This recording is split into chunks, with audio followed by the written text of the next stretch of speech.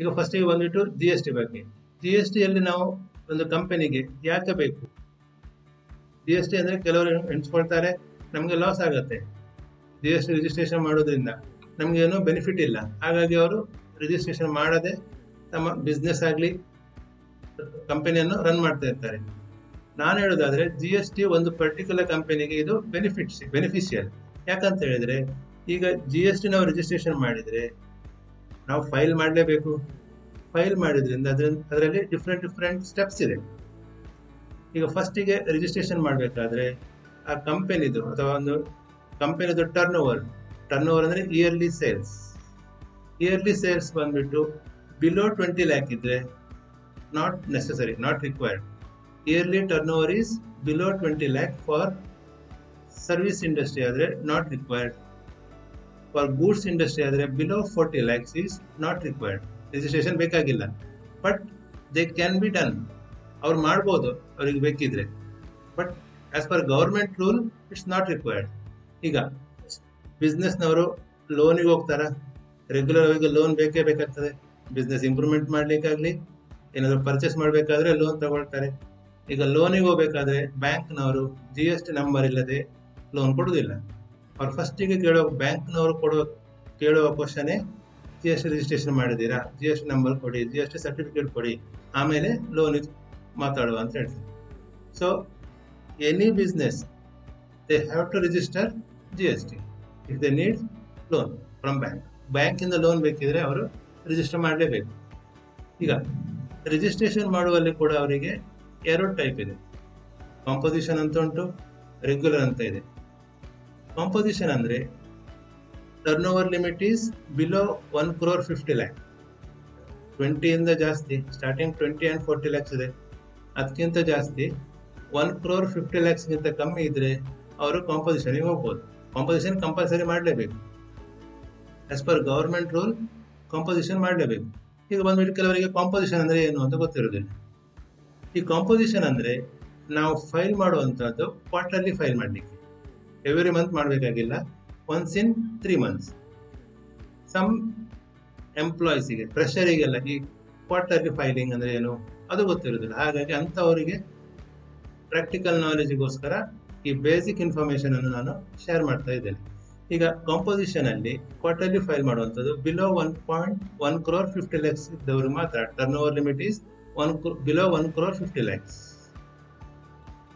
but below one crore fifty lakhs ಇದ್ರೆ composition is compulsory but they can be go for regular but regular is not compulsory ಅವನಿಗೆ ಬೇಕಿದ್ರೆ regular ಮಾಡ್ಬೋದು.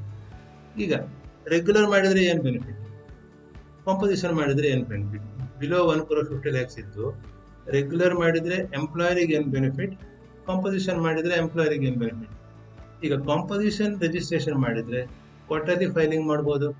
ಆದರೆ ಅವನಿಗೆ input ಸಿಗೋದಿಲ್ಲ input ಅಂದ್ರೆ ಏನು? ಇನ್ಪುಟ್ ಅಂದ್ರೆ ನೀವು ಪರ್ಚೇಸ್ ಮಾಡ್ತೀರಾ. ಆ ಪರ್ಚೇಸ್ ಅಲ್ಲಿ ಜಿ ಎಸ್ ಟಿ ಚಾರ್ಜ್ ಮಾಡ್ತಾರೆ ಪರ್ಚೇಸ್ ಬಿಲ್ ಅಲ್ಲಿ. ಅದು ಪರ್ಟಿಕ್ಯುಲರ್ ಪರ್ಚೇಸರಿಗೆ ಇನ್ಪುಟ್ ಆಗಿ ತಗೊಳ್ತದೆ. ಈಗ ಕಾಂಪೋಸಿಷನ್ ರಿಜಿಸ್ಟ್ರೇಷನ್ ಇದ್ರೆ for example X mister X is running one business ಅವನು ಮಿಸ್ಟರ್ ವೈ ಇಂದ ಪರ್ಚೇಸ್ ಮಾಡ್ತಾನೆ. X is a composite dealer register under composition Y ಇಂದ ಪರ್ಚೇಸ್ ಮಾಡ್ತಾನೆ. ವೈ ಇನ್ಪುಟ್ ಚಾರ್ಜ್ ಮಾಡಿ ಬಿಲ್ ಕೊಡ್ತಾರೆ. ಫಾರ್ ಎಕ್ಸಾಂಪಲ್ ಒಂದು ಮೊಬೈಲ್ ಪರ್ಚೇಸ್ ಮಾಡೋದಾದರೆ Y eighteen percent G S T input charge G S T charge ಮಾಡಿ ಎಸ್ಗೆ ಕೊಡ್ತಾನೆ. ಅವನು if is a registered under composition ಆ eighteen percent G S T ಅವನಿಗೆ ಇನ್ಪುಟ್ ಸಿಗುವುದಿಲ್ಲ. ಅಂದರೆ ಯಾರು ಕಾಂಪೋಸಿಷನ್ ರಿಜಿಸ್ಟರ್ ಮಾಡಿರ್ತಾರೆ, ಅವರಿಗೆ ಇನ್ಪುಟ್ ಇನ್ಪುಟ್ ತಗೊಳ್ಳಿಕ್ಕಿಲ್ಲ. G S T input ತಗೊಳ್ಳಿಕ್ಕಿಲ್ಲ.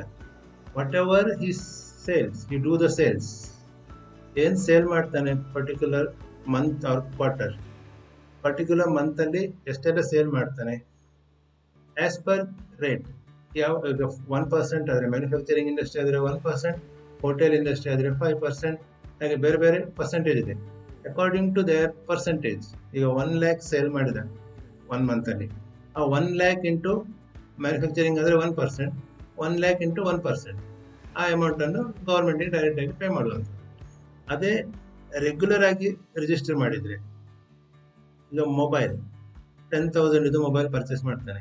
Ten thousand plus eighteen percent G S T ಅಂದರೆ thousand eight hundred rupees G S T eleven thousand eight hundred total amount including G S T eleven thousand eight ಹಂಡ್ರೆಡ್ಗೆ purchase ಮಾಡಿ, ಅದನ್ನು fifteen ತೌಸಂಡಿಗೆ sale ಮಾಡ್ತಾನೆ.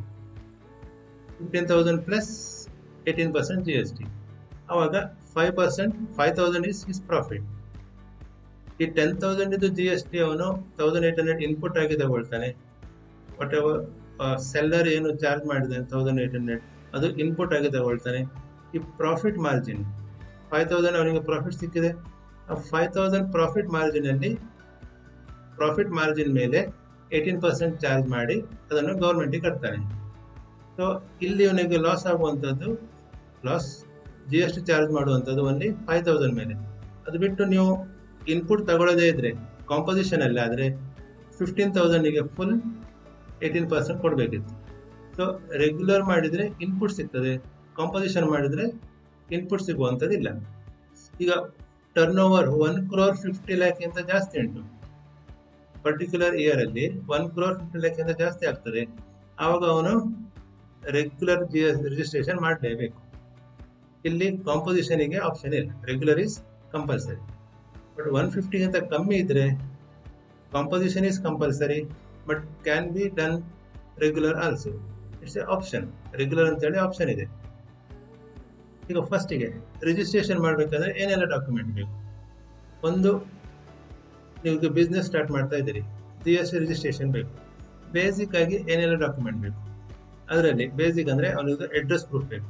ಯಾರಿಗೆ G S T registration ಬೇಕು ಅವನದು address proof is compulsory ಅದರ rent agreement ಆಗಲಿ, ಅಥವಾ ಓನ್ ಪ್ರಮೈಸಸ್ ಆದರೆ ಅವನದು ಎಲೆಕ್ಟ್ರಿಸಿಟಿ ಬಿಲ್ ಈಸ್ ಕಂಪಲ್ಸರಿ ಆಮೇಲೆ ಸೆಕೆಂಡ್ ಒನ್ ಅವನದು passport size photo PAN card PAN card copy ಬೇಕು. ಮತ್ತೆ ಅವನದು ಡಿಜಿಟಲ್ ಸಿಗ್ನೇಚರ್ ಪೆನ್ ಡ್ರೈವ್ ಅಲ್ಲಿ ಸಿಗ್ನೇಚರ್ ಆಗಿರ್ತಾರೆ this is the basic document apart from this some other also there depending on the ಅವರ business ಮೇಲೆ depend ಆಗಿರ್ತದೆ. ಇದು ಈ ನಾಲ್ಕು ಇನ್ಫಾರ್ಮೇಶನ್ ಬೇಸಿಕ್ ಆಗಿ ಬೇಕಾಗ್ತದೆ ಈ ಒಮ್ಮೆ ಜಿ ಎಸ್ ನಾವು ರಿಜಿಸ್ಟ್ರೇಷನ್ ಮಾಡಿದ್ವಿ fifteen minimum fifteen working days ಅವರದ್ದು ಜಿ ಎಸ್ ಟಿ ನಂಬರ್ ಸಿಗ್ತದೆ ಜಿ ಎಸ್ ಟಿ ನಂಬರ್ ಸಿಕ್ಕಿದ ಮೇಲೆ he has to file every month it's a regular he has to file every month. If it's a composition, he has to file once in three months, quarterly. ಈಗ ನೀವು registration ಮಾಡಿದ್ರ G S T number ಬಂದಿದೆ ಇನ್ನು ಯಾಕೆ ರೀತಿ file ಮಾಡಬೇಕು ಅಂತ ಕೆಲವರು ಸುಮ್ಮನೆ ಕೂತ್ಕೊಳ್ತಾರೆ. ರಿಜಿಸ್ಟ್ರೇಷನ್ ಮಾಡ್ತಾರೆ ಫೈಲ್ ಮಾಡಿದರೆ ಗೌರ್ಮೆಂಟಿಗೆ ಪೇಮೆಂಟ್ ಮಾಡ್ಬೇಕಂತ ಹೇಳಿ ಫೈಲ್ ಮಾಡೋದು ಕೂತ್ಕೊಳ್ತಾರೆ. ಫಸ್ಟ್ ಮಂತ್ ನೀವು ಫೈಲ್ ಮಾಡಲಿಲ್ಲ. ಡಿಪಾರ್ಟ್ಮೆಂಟ್ನವರು ಸುಮ್ಮನೆ ಇರ್ತಾರೆ. ಸೆಕೆಂಡ್ ಮಂತ್ ಫೈಲ್ ಮಾಡಲಿಲ್ಲ. ನಿಮಗೆ ಕಾಲ್ ಮಾಡ್ತಾರೆ ಫೈಲ್ ಮಾಡಿ ಫೈಲ್ ಮಾಡಿ ಅಂತೇಳಿ ಥರ್ಡ್ ಮಂತ್ ಸೇಮ್ ಕಾಲ್ ಮಾಡ್ತಾರೆ ಫೈಲ್ ಮಾಡಿ ಅಂತೇಳಿ ಕಂಟಿನ್ಯೂಸ್ ನೀವು ಸಿಕ್ಸ್ ಮಂತ್ ಕಂಟಿನ್ಯೂಸ್ ಫೈಲ್ ಮಾಡಲಿಲ್ಲ. ಆವಾಗ ನಿಮ್ಮ ಜಿ ಎಸ್ ಟಿ ಲಾಗಿನ್ ಅನ್ನೋರು ಬ್ಲಾಕ್ ಮಾಡ್ತಾರೆ. ಆಮೇಲೆ ನಿಮಗೆ ಲಾಗಿನ್ ಆಗ್ಲಿಕ್ಕೆ ಆಗೋದಿಲ್ಲ. ಒಮ್ಮೆ ಬ್ಲಾಕ್ ಆದಮೇಲೆ ನೀವು ಬೇರೆ ರಿಜಿಸ್ಟ್ರೇಷನ್ ಮಾಡ್ಲಿಕ್ಕೆ ಆಗೋದಿಲ್ಲ ಆ ಪಾನ್ ನಂಬರಲ್ಲಿ ಯಾಕಂದ್ರೆ ಆಲ್ರೆಡಿ ಒಂದು ರಿಜಿಸ್ಟ್ರೇಷನ್ ನಂಬರ್ ಇದೆ. ನೀವು ಪುನಃ ಅದನ್ನು ಕಂಟಿನ್ಯೂ ಮಾಡಬೇಕಂತಾದ್ರೆ ಡಿಪಾರ್ಟ್ಮೆಂಟಿಗೆ ಹೋಗಿ ಅವರಿಗೆ ಲೆಟ್ರ್ ಕೊಟ್ಟು ಅವರನ್ನು ಕನ್ವಿನ್ಸ್ ಮಾಡಿ ಅವರೇನಾದ್ರು ಚಾರ್ಜಸ್ ತಗೊಳ್ತಾರೆ, ಆ ಚಾರ್ಜಸ್ ಕೊಟ್ಟು ಆಮೇಲೆ ಅನ್ಬ್ಲಾಕ್ ಮಾಡಿ ಮತ್ತೆ ಫೈಲ್ ಮಾಡ್ಬೋದು. ಆ್ಯಂಡ್ ಒನ್ ಮೋರ್ ಥಿಂಗ್ ಅದನ್ನು ಫೈಲ್ ಮಾಡಲಿಕ್ಕೆ ಪರ್ಟಿಕ್ಯುಲರ್ ಡೇಟ್ಸ್ ಇದೆ. For regular registration every month twentieth you have to file suppose ಈಗ ಟ್ವೆಂಟಿಯತ್ ಒಳಗೆ ಫೈಲ್ ಮಾಡಲಿಕ್ಕಾಗಿಲ್ಲ ಬಿಕಾಸ್ ಆಫ್ ಸಮ್ ರೀಸನ್ ಏನೋ ನೀವು ಬ್ಯುಸಿ ಇದ್ದೀರಾ ಆ ಟೈಮಲ್ಲಿ ನೀವು ಡಿಲೇ ಮಾಡ್ತೀರಾ. ಡಿಲೇ ಮಾಡಿದರೆ per day fifty rupees fine ಆಗ್ತದೆ. ಟ್ವೆಂಟಿ ಫೈವ್ ರುಪೀಸ್ ಸ್ಟೇಟ್ ಸ್ಟೇಟಿಗೆ twenty five rupees ಸೆಂಟರಿಗೆ per day fifty rupees up to five thousand five ತೌಸಂಡ್ವರೆಗೆ charge ಮಾಡ್ತಾರೆ. ಆಮೇಲೂ ನೀವು ಫೈಲ್ ಮಾಡಿದ್ರೆ that's a cut off limit five thousand is charge two thousand five hundred for state two thousand five hundred for central ಇದೇ ನಾನು practical ಆಗಿ ತೋರಿಸುವ ಅಂತೇಳಿ ತೋರಿಸ್ತೇನೆ ನಿಮಗೆ ಹೇಗೆ, ಆ ಜಿ ಎಸ್ ಟಿ ವೆಬ್ಸೈಟ್ ಹೇಗೆ ವರ್ಕ್ ಆಗ್ತದೆ ರಿಜಿಸ್ಟ್ರೇಷನ್ ಮಾಡೋದು ಹೇಗೆ, ಮತ್ತು ಅದರಲ್ಲಿ ಏನೆಲ್ಲ ಸ್ಟೆಪ್ಸ್ ಇದೆ ಫೈಲ್ ಮಾಡುವಂಥದ್ದು. ಈಗ ಫೈಲ್ ಮಾಡಲಿಕ್ಕೆ ನಾವು ಲಾಗಿನ್ ಆದಮೇಲೆ ಅದರಲ್ಲಿ ತ್ರೀ ಸ್ಟೆಪ್ಸ್ ಇದೆ. ಒಂದರಲ್ಲಿ ನಾವು ಓನ್ಲಿ ಸೇಲ್ಸನ್ನು ಅಪ್ಡೇಟ್ ಮಾಡಲಿಕ್ಕೆ, ಏನೆಲ್ಲ ಸೇಲ್ ಆಗಿದೆ ಪರ್ಟಿಕ್ಯುಲರ್ ಮಂತಲ್ಲಿ ಆ ಇನ್ವಾಯ್ಸ್ ಅನ್ನು ಅಪ್ಡೇಟ್ ಮಾಡಬೇಕು. ಅದನ್ನು G S T R one A ಅಂತ ಹೇಳ್ತಾರೆ. ಸೆಕೆಂಡ್ ಬಂದ್ಬಿಟ್ಟು G S T R two B ಇದರಲ್ಲಿ ಒಂದು ಪರ್ಚೇಸ್ ಇದರಲ್ಲಿ ನಮಗೆ ಅಪ್ಡೇಟ್ ಮಾಡ್ಲಿಕ್ಕೆ ಏನಿಲ್ಲ. ಪರ್ಚೇಸರಿಗೆ ಏನು ಅಪ್ಡೇಟ್ ಮಾಡಲಿಕ್ಕಿಲ್ಲ ಯಾಕಂದರೆ ನಿಮಗೆ ಸೇಲ್ಸ್ ಯಾರು ಮಾಡ್ತಾರೆ? ಅವರು ಅವರ ಜಿ ಎಸ್ ಟಿಯಲ್ಲಿ ಸೇಲ್ಸ್ ಎಂಟ್ರಿ ಮಾಡಿರ್ತಾರೆ. ಪರ್ಚೇಸರ್ನ ಜಿ ಎಸ್ ಟಿ ನಂಬರ್ ಹಾಕಿ ಸೇಲ್ಸ್ ಎಂಟ್ರಿ ಮಾಡಿರ್ತಾರೆ. ಆವಾಗ ಪರ್ಚೇಸರ್ನ ಅಕೌಂಟಿಗೆ ಪರ್ಚೇಸರ್ಗೆ ಆಟೋಮೆಟಿಕ್ ಆಗಿ ಶೋ ಆಗುತ್ತೆ.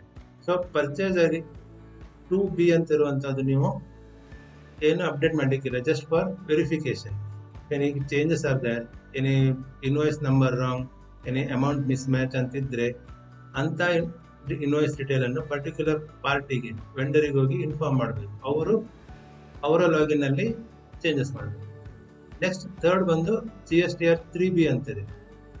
ಈ ತ್ರೀ ಬಿ ಅಲ್ಲಿ ಔಟ್ಪುಟ್ ಮೈನಸ್ ಇನ್ಪುಟ್ ಆ ಅಮೌಂಟ್ ಅನ್ನು ನಾವು ಪೇಯಬಲ್ ಮಾಡುವಂಥದ್ದು ಈ G S T R three B first G S T R one ಇದು due date is eleventh of every month sales ಅನ್ನು ಅಪ್ಡೇಟ್ ಮಾಡಲಿಕ್ಕೆ. ಲೆವೆಂತ್ ಒಳಗೆ ನೀವು ಫೈಲ್ ಮಾಡಬೇಕು. G S T R two fifteenth of every month purchase details ಅನ್ನು ನೀವು finalise ಮಾಡಬೇಕು. Fifteenth of every ಮಂತ್ಗೆ ಲಾಸ್ಟಿಗೆ G S T R three B ಅನ್ನು ಎವ್ರಿ ಮಂತ್ ಟ್ವೆಂಟಿಯತ್ ಈ ಸೇಲ್ಸ್ ಪರ್ಚೇಸ್ ಕ್ಲಿಯರ್ ಆದಮೇಲೆ ಆ ಅಮೌಂಟ್ ನಿಮಗೆ ಪೇಯಬಲ್ ಅಲ್ಲಿ ಶೋ ಆಗುತ್ತೆ. So G S twentieth of every month G S T three B ಅನ್ನು ನಾವು ಫೈಲ್ ಮಾಡಲೇಬೇಕು. ಇದನ್ನೇ ಸ್ವಲ್ಪ ಬೇಸಿಕ್ ಆಗಿ ಪ್ರಾಕ್ಟಿಕಲ್ ಹೇಗೆ ವರ್ಕ್ ಆಗ್ತದೆ ಅಂತ ತೋರಿಸ್ತಾ ಇದ್ದೇನೆ ನಿಮಗೆ ಈ ಮಾಸ್ಟರ್ ಕ್ಲಾಸ್ ಅಲ್ಲಿ. ಫಸ್ಟಿಗೆ ಬಂದು ಈ G S T dot G O V dot in ಅಂತ ವೆಬ್ಸೈಟ್ ಇದೆ. ಅದರಲ್ಲಿ ಹೋಗಿ ನಾವು ಲಾಗಿನ್ ಆಗಬೇಕು. ಲಾಗಿನ್ ಆದಮೇಲೆ ನಿಮಗೆ ಇಲ್ಲಿ ಫಸ್ಟಿಗೆ ರಿಜಿಸ್ಟ್ರೇಷನ್ ಆಗಬೇಕಾದ್ರೆ ಈ ರಿಜಿಸ್ಟ್ರೇಷನ್ ಅಲ್ಲಿ ಸರ್ವಿಸ್ ಅಲ್ಲಿ ಹೋಗಿ ರಿಜಿಸ್ಟ್ರೇಷನ್ ನ್ಯೂ ರಿಜಿಸ್ಟ್ರೇಷನ್ ಅಂತ ಕೊಡಬೇಕು. ನ್ಯೂ ರಿಜಿಸ್ಟ್ರೇಷನಲ್ಲಿ ಎರಡು ಟೈಪ್ ಇದೆ. ಒಂದು ಟೆಂಪರರಿ ರೆಫರೆನ್ಸ್ ನಂಬರ್ ಇನ್ನೊಂದು ನ್ಯೂ ರೆಫರೆನ್ಸ್ ನ್ಯೂ ರಿಜಿಸ್ಟ್ರೇಷನ್ ಅಂತೇಳಿ. ನಾವು ಈ ಟೆಂಪರರಿ ರೆಫರೆನ್ಸ್ ನಂಬರ್ ಅಂತ ಹೇಳಿದ್ರೆ ಒಮ್ಮೆ ಅಪ್ಲೈ ಮಾಡಿದ ಮೇಲೆ ನಮಗೆ ಟಿ ಆರ್ ಎನ್ ನಂಬರ್ ಸಿಗ್ತದೆ. ನಮಗೆ ಫ್ಯೂಚರಲ್ಲಿ ಅದರ ಸ್ಟೇಟಸ್ ಹೇಗಿದೆ? ಅಪ್ಲೈ ಮಾಡಿದ್ದೀರಿ? ಏನಾದರೂ ಕ್ವೇರಿ ರೈಸ್ ಮಾಡಿದಾರಾ? ಏನು ಫೈನಲೈಸ್ ಆಗಿದೆ ಜಿ ಎಸ್ ಟಿ ನಂಬರ್ ನೋಡಬೇಕಾದ್ರೆ ಈ temporary number T R N ಅನ್ನು ಕ್ಲಿಕ್ ಮಾಡಬೇಕು. ಇಲ್ಲ, ನಾವು ಫಸ್ಟ್ ರಿಜಿಸ್ಟ್ರೇಷನ್ ಮಾಡ್ತಾ ಇದ್ದೀರಾದರೆ ನ್ಯೂ ರಿಜಿಸ್ಟ್ರೇಷನ್ ಅಂತ ಕೊಟ್ಟು, ಇಲ್ಲಿ I am a I am a taxpayer state ನಿಮ್ಮ ಸ್ಟೇಟ್ ಯಾವುದು? ಕರ್ನಾಟಕ, ಕೊಟ್ಟು district Udupi. Legal name of the business ಅಲ್ಲಿ ಹೇಗಿದೆ? ಫಾರ್ ಎಕ್ಸಾಂಪಲ್ ನಿಮ್ಮ ಹತ್ರ ಬಿಸ್ನೆಸ್ ಶಾಪ್ ಇಲ್ಲ. ನಿಮ್ಮ ಪರ್ಸನಲ್ ಹೆಸರಲ್ಲಿ ನೀವು ಬಿಸ್ನೆಸ್ ಮಾಡ್ತಾ ಇದ್ದೀರಿ. ಆವಾಗ ನಿಮ್ಮ ಪಾನ್ ಕಾರ್ಡ್ ಅಲ್ಲಿ ಹೆಸರು ಹೇಗಿದೆ. ಆ ಪಾನ್ ಕಾರ್ಡ್ ಹೆಸರು, ಅಲ್ಲಿ ಹೆಸರಿದ್ದನ್ನು ಇಲ್ಲಿ ಮೆನ್ಷನ್ ಮಾಡಬೇಕು ಆಸ್ ಪರ್ ಪಾನ್ ಆಮೇಲೆ ಪಾನ್ ನಂಬರ್ ಹಾಕಬೇಕು. ಪಾನ್ ನಂಬರ್ ಆದಮೇಲೆ ನಿಮ್ಮ mail I D mobile number ಆಮೇಲೆ ಮೊಬೈಲಿಗೆ ಓ ಟಿ ಪಿ ಬರ್ತದೆ. ಆ ಓ ಟಿ ಪಿಯನ್ನು ಹಾಕಬೇಕು. ಆಮೇಲೆ ಈ ಕ್ಯಾಪ್ಚಾವನ್ನು ಎಂಟ್ರಿ ಮಾಡಿ ಪ್ರೊಸೀಡ್ ಕೊಟ್ಟಾಗ ಇಲ್ಲಿ ನಿಮಗೆ ಟೆನ್ ಟ್ಯಾಬ್ ಸಿಗ್ತದೆ. ಆ ಟ್ಯಾಬ್ಸ್ ಅಲ್ಲಿ ನಿಮ್ಮ ಅಡ್ರೆಸ್ ಡೀಟೇಲ್ಸ್ ಫುಲ್ ಡೀಟೇಲ್ಸ್ ಏನು ಬಿಸ್ನೆಸ್ ಮಾಡ್ತೀರಿ address details contact details authorise person ಎಲ್ಲ ಡೀಟೇಲ್ಸ್ ಅನ್ನು ಹಾಕಿ ಸಬ್ಮಿಟ್ ಕೊಟ್ಟ ಮೇಲೆ ನಿಮ್ಗೆ ಒಂದು ಟೆಂಪರರಿ ನಂಬರ್ ಸಿಗುತ್ತೆ. ಟಿ ಆರ್ ಎನ್ ಒಮ್ಮೆ ಸಬ್ಮಿಟ್ ಆದಮೇಲೆ ನಿಮಗೆ ಸ್ಟೇಟಸ್ ನೋಡಬೇಕು. ಆ ಜಿ ಎಸ್ ಟಿ ನಂಬರ್ ಯಾವ ಸ್ಟೇಟಸ್ ಅಲ್ಲಿದೆ it will take minimum fifteen to twenty days any queries are not raise ಡಿಪಾರ್ಟ್ಮೆಂಟ್ನವರು ಯಾವುದೇ ಕ್ವೇರಿಯನ್ನು ರೈಸ್ ಮಾಡದಿದ್ರೆ ಫಿಫ್ಟೀನ್ ಟು ಟ್ವೆಂಟಿ ಡೇಸಲ್ಲಿ ನಿಮಗೆ P S T registration number mail ಮತ್ತು ಮೆಸೇಜಲ್ಲಿ ಮೊಬೈಲ್ಗೆ ಮೆಸೇಜ್ ಬರ್ತದೆ.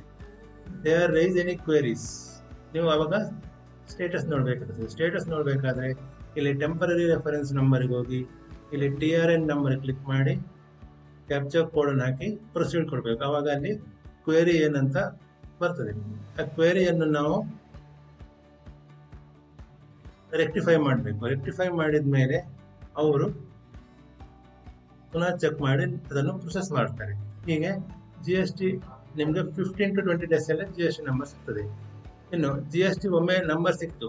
ಸಿಕ್ಕಿದ ಮೇಲೆ ಇಲ್ಲಿ ಲಾಗಿನ್ಗೆ ಹೋಗಿ ಲಾಗಿನ್ ಅಲ್ಲಿ ಯೂಸರ್ ನೇಮ್ ಪಾಸ್ವರ್ಡ್ ಅನ್ನು ಹಾಕಿ ಲಾಗಿನ್ ಹೋಗ್ಬೇಕು. ಲಾಗಿನ್ ಹೋದ್ಮೇಲೆ ಅಲ್ಲಿ ಡಿಫ್ರೆಂಟ್ ಡಿಫ್ರೆಂಟ್ ಫೀಲ್ಡ್ಸ್ ಇದೆ.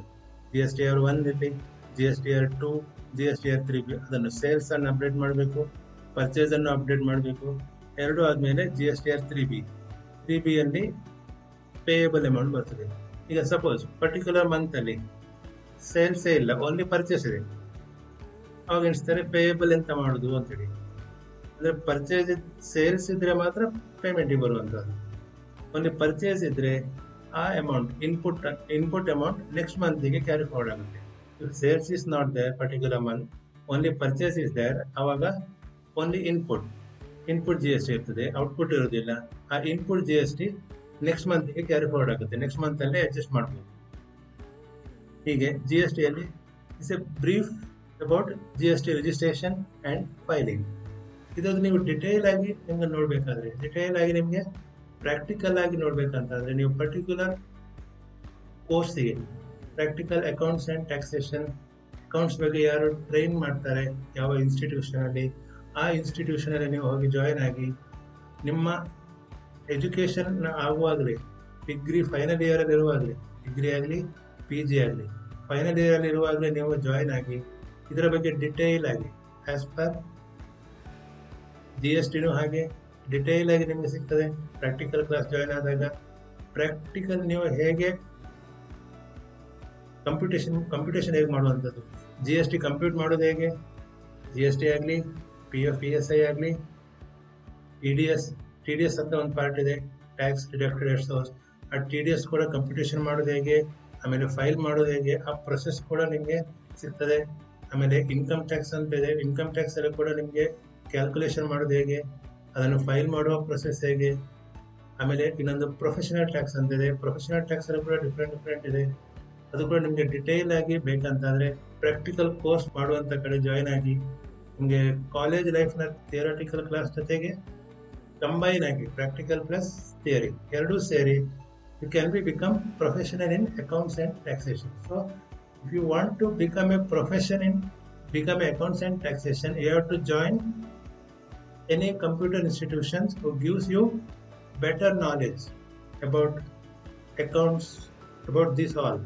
Gst pof psi tds income tax pt ಎಲ್ಲಿ ನಿಮಗೆ ಇದ್ರದ್ದು one to one contact individual ಆಗಿ ನಿಮಗೆ ಕಾನ್ಸಂಟ್ರೇಟ್ ಮಾಡುವಂಥದ್ದು. ಪರ್ಟಿಕ್ಯುಲರ್ ಸ್ಟೂಡೆಂಟ್ಸಿಗೆ ಇಂಡಿವಿಜುವಲ್ ಆಗಿ ಒಂದು ಅದನ್ನು ಫೈಲ್ ಕಂಪ್ಯೂಟೇಷನ್ ಹೇಗೆ ಮಾಡುವಂಥದ್ದು, ಅದನ್ನು ಫೈಲ್ ಮಾಡುವಂಥದ್ದು ಹೇಗೆ, ಈ ಫೈಲಿಂಗ್ ಪ್ರೊಸೆಸ್ ಕೂಡ ಬೇರೆ ಬೇರೆ ಇದೆ. ಕೆಲವು ಕಡೆ ಫೈಲಿಂಗ್ ಮಾಡುವಾಗ ಅದನ್ನು ಹೇಗೆ ಮಾಡುವಂತ ತೋರಿಸ್ತಾರೆ ಮಾತ್ರ. ಟ್ರೈನರ್ ಬಟ್ ಕೆಲವು ಇನ್ಸ್ಟಿಟ್ಯೂಷನ್ ಅಲ್ಲಿ ನಿಮಗೆ ಅದನ್ನು ಸಿಮ್ಯುಲೇಷನ್ ಸಾಫ್ಟ್ವೇರ್ ಅಂತ ಇದೆ. ಈ ಸಿಮ್ಯುಲೇಷನ್ ಸಾಫ್ಟ್ವೇರ್ ಅನ್ನು ಅವರೇ ಡೆವಲಪ್ ಮಾಡಿ, ಒಂದು ಪರ್ಟಿಕ್ಯುಲರ್ ಇನ್ಸ್ಟಿಟ್ಯೂಟ್ನವರು ಡೆವಲಪ್ ಮಾಡಿ, ಯಾವುದೆಲ್ಲ ರಿಟರ್ನ್ ಫೈಲ್ ಮಾಡಲಿಕ್ಕೆ ಉಂಟು ಪರ್ಟಿಕ್ಯುಲರ್ ಆಗಿ G S T return file ಮಾಡಲಿಕ್ಕಿದೆ income tax return file ಮಾಡಲಿಕ್ಕಿದೆ income P F P S I return filing ಇದೆ P D S return filing ಇದೆ ಪಿ ಟಿ ರಿಟರ್ನ್ ಫೈಲಿಂಗ್ ಇದೆ. ಇದಿಷ್ಟು main ಆಗಿ ಐದು ಕಾನ್ಸೆಪ್ಟ್ ಅನ್ನು ನೀವು ಗೌರ್ಮೆಂಟ್ ವೆಬ್ಸೈಟಿಗೆ ಹೋಗಿ ಫೈಲ್ ಮಾಡ್ಲಿಕ್ಕೆ ಆಗೋದಿಲ್ಲ if you gone for government website ಅದು ರಿಯಲ್ ವೆಬ್ಸೈಟ್ ಅದರಲ್ಲಿ ನೀವು ಫೈಲ್ ಮಾಡಿದ್ರೆ ನೀವು ಪೇಮೆಂಟ್ ಮಾಡಬೇಕಾಗ್ತದೆ ಇದು ಅಮೌಂಟನ್ನು ಅಮೌಂಟನ್ನು ಪೇ ಮಾಡಿ ಫೈಲ್ ಮಾಡಬೇಕಾಗ್ತದೆ. ಈ ಎಜುಕೇಷನ್ ಇನ್ಸ್ಟಿಟ್ಯೂಷನ್ ಯಾವ ಕಂಪ್ಯೂಟರ್ ಎಜುಕೇಷನ್ ಇನ್ಸ್ಟಿಟ್ಯೂಷನ್ ಅಲ್ಲಿ ನಿಮಗೆ ಇದದು ಪ್ರಾಕ್ಟಿಕಲ್ ಫೈಲಿಂಗ್ ಮಾಡೋದು ಹೇಗೆ? ನಿಮಗೆ ಒಂದು ಸಿಸ್ಟಮ್ ಕೊಟ್ಟು ಪರ್ಟಿಕ್ಯುಲರ್ ಸ್ಟೂಡೆಂಟ್ಸಿಗೆ ಸಿಸ್ಟಮ್ ಅಲೋಕೇಟ್ ಮಾಡಿ, ಅದರಲ್ಲಿ ಸಿಮ್ಯುಲೇಷನ್ ಸಾಫ್ಟ್ವೇರ್ ಅಂತ ಡೆವಲಪ್ ಮಾಡಿರ್ತಾರೆ. ಆ ಸಿಮ್ಯುಲೇಷನ್ ಸಾಫ್ಟ್ವೇರ್ನಲ್ಲಿ ಫೈಲ್ ಮಾಡುವಂಥದ್ದು ಹೇಗೆ? ನೀವೇ ಅದನ್ನು ಫೈಲ್ ಮಾಡ್ಬೋದು. ಅಂಥ ಕಡೆ ನೀವು ಜಾಯಿನ್ ಆಗಿ ಸಿಮ್ಯುಲೇಷನ್ ಸಾಫ್ಟ್ವೇರಲ್ಲಿ ಯಾರು ಫೈಲಿಂಗ್ ಮಾಡ್ತಾ ಇದ್ದಾರೆ ಅಂಥ ಕಡೆ, ಅಂಥ ಕಂಪ್ಯೂಟರ್ ಇನ್ಸ್ಟಿಟ್ಯೂಷನ್ ನೋಡಿ ನಿಮ್ಮ ನಿಯರ್ ಬೈ ಯಾರಿದ್ದಾರೆ, ಯಾರು ಒನ್ ಬೈ ಒನ್ ಕಾಂಟ್ಯಾಕ್ಟಲ್ಲಿ ನಿಮಗೆ ಟ್ರೈನ್ ಮಾಡ್ತಾರೆ, ಅಂಥ ಇನ್ಸ್ಟಿಟ್ಯೂಷನ್ಗೆ ಜಾಯಿನ್ ಆಗಿ be positive and join these practical courses give the practical knowledge for you ಅಂತೇಳಿ ಇಲ್ಲಿಗೆ ನಾನು ಮುಗಿಸ್ತಾ ಇದ್ದೀನಿ.